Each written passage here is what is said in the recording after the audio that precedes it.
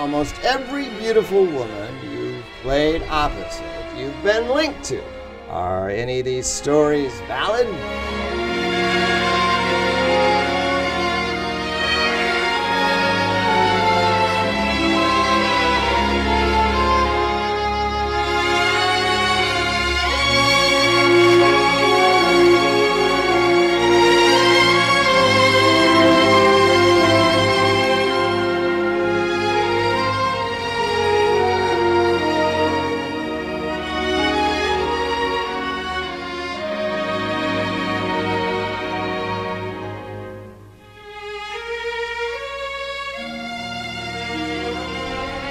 You know, when you love somebody, you can't describe why.